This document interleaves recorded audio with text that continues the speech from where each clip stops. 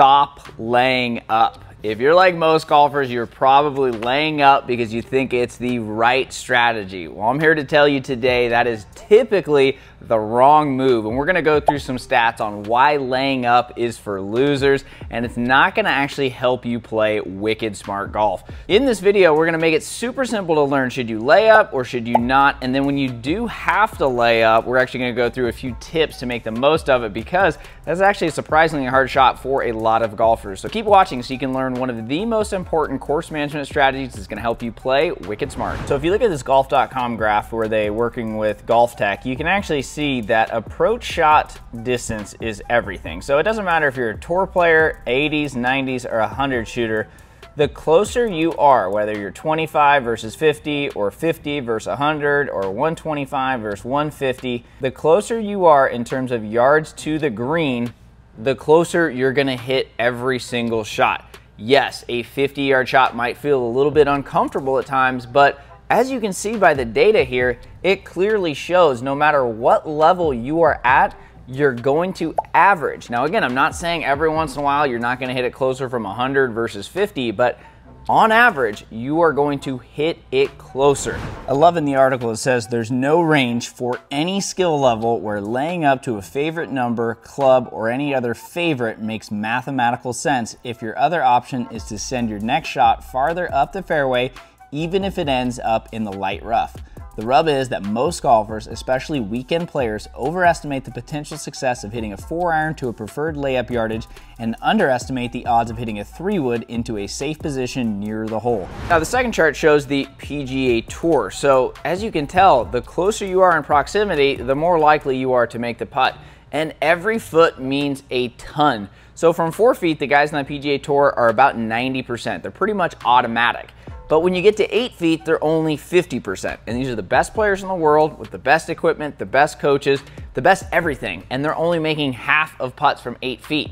Needless to say, when you lay up voluntarily, what you're going to do a lot of times is leave a lot more 10, 15, 20, 30 footers versus 5, 10, 15, 20 footers. And every foot counts because once you start getting outside of 15 or 20 feet, a lot of amateur golfers are gonna start three putting as well. So we want to make sure that we are hitting it as close as we can, as often as we can, and hopefully tracking your stats. When you track your stats, you can actually start to see, am I really good at certain distances or do I need to work on certain distances? And when you actually have the stats, you can actually see, wow, I'm a lot better in proximity from 70 or 80 versus 100 or 120. Now, I know a lot of people think that when you have a full swing, it makes it easier, but as the numbers show, it just doesn't add up. I asked Scott Fawcett, the creator of Decade Golf, about this too, because a lot of players still reach out and say, hey, no, I really am better at 70 or 80 than I am at 50 or 60. So what he said is, one, do the stats actually show that? Like, do you actually have proof and not just like in one instance where you were better from 80 than you were at 50? If the stats show that, maybe it's a different story, but again, I just haven't seen it unless you have like the chipping yips or some horrible issue from 50 or 60 or whatever troubling distances. It's just typically not the case. And the more important thing that Scott pointed out is that your good or even bad shots from 40 or 60 or whatever distance are gonna be better than your really good shots from 80, 100, or 120. The thing is, you have to remember that golf is a game of misses. Your misses are gonna be a lot better from short distances, which means you're gonna have shorter length putts, which again means reducing those three putts and hopefully a few of those putts actually drop. So we need to get it as close as we can, as often as we can, so that way we're not trying to have those long distances into the green. Not to mention, when you do lay up voluntarily too far back, you might actually miss the green. It's actually pretty easy to miss the green from 80, 100, or 120 yards for amateur golfers. Even the pros miss from this distance too. So again, you have to remember to play the averages. Track your stats over time and you will start to see that laying up is not the wicked smart strategy. But you have to make sure we're practicing it. A lot of golfers do struggle with the three wood and I do recommend for maybe mid to high handicappers even going up. So it's like a 16, 16 and a half degree. It's gonna be easier to hit this off the deck. But when you know that you can step up and hit this thing off the deck, it will absolutely change your game. As you can see in some of these videos, I've hit some pretty nice three woods over the years. I absolutely love this club and I'm trying out a mini driver right now, which I'm hitting pretty well off the deck too.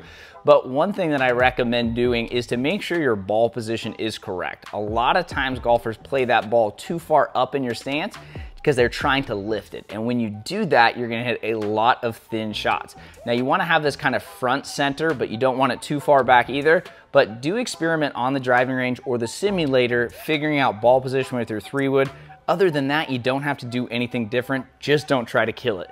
Make sure to have a smooth tempo and you're gonna be able to advance this ball as far as you want up there and hopefully lower that scoring average.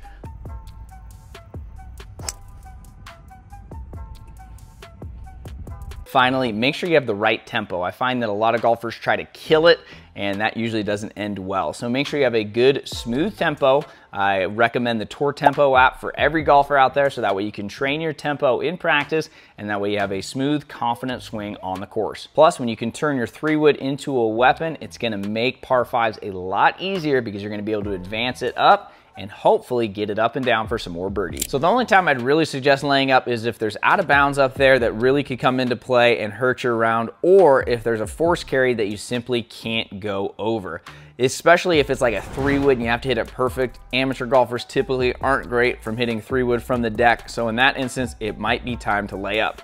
However, laying up has its own problems too. I always found that laying up kind of makes it easy to get lazy. So we can't get lazy and we have to laser in on layup shots. I talk about this in my book, Wicked Smart Golf, because it really is important to make sure that you're super committed and not just lackadaisical and lazy on these shots. Because I don't know about you, but I know I've laid up, not really been 100% focused, just kind of pulled a club, didn't really have a target, didn't really have a distance, and then chunked it or hit just this terrible shot. Now all of a sudden my third shot to a par five is gonna be a lot more difficult difficult. So make sure we're going through our full routine. That includes analyzing the lie, analyzing how far we have until a penalty area, analyzing what club we need to hit, and maybe sometimes even clubbing up a little bit. I feel like sometimes people lay up too far back, and then again, we go into if you're 120 versus 100 or 80, it's just going to increase your scoring average. So yes, we wanna lay up, never get too close to the water and then completely, you know, abandon the entire point of laying up but sometimes laying up too far back is also a thing. So make sure we're getting clear about our target, clear about our club, and you have to know your distances. So at the simulator or using a launch monitor on the driving range, make sure you actually know how far you hit every single club. Ultimately, laying up should be strategic and not the automatic choice. In general, send it. Make sure you're hitting those hybrids and fairway woods as close to the green as possible so you can lower your scoring average and start playing to your potential. But if there's out of bounds up there or a force carry that you just can't make, then of course you wanna lay up, but follow the tips in this video so you don't get lazy and you make the most of that layup. If you want even more tips to play more consistent golf, watch these two videos next.